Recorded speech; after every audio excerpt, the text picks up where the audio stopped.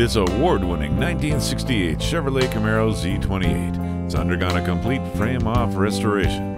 The DZ302 has been bored and stroked to 383 cubic inches and puts out over 500 horsepower. This is a real deal Z28 with all the original factory markings in place. Only 7,199 Z28s were produced in 1968, and this is one of the highest quality ones you will ever see. Further enhancing its appeal is the fact that it is also one of the strongest running Z28s around. Included with the car is a restoration photo album and the original window sticker. Ready to drive or show, you will be impressed by the quality of this rare Z28. Please call for more information. We're conveniently located at 241 Boston Road in Milford, Connecticut, or online 24 7 at NapoliClassics.com.